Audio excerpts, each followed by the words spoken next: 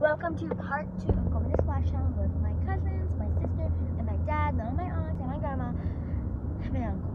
Alright, so we are almost there, like maybe five minutes away.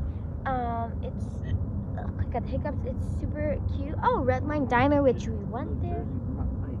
Oh, Jersey Mike's, we have uh, Cracker Barrel, I love Cracker Barrel so much. Home, a lot. Verizon, Starbucks. Starbucks.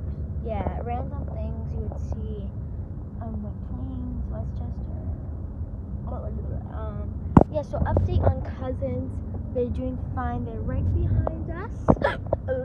okay. So there they are in the minivan, and they're right behind us, which is great. My brother is with um them, the cousins. So we're like two minutes away. Update you what we got in the park.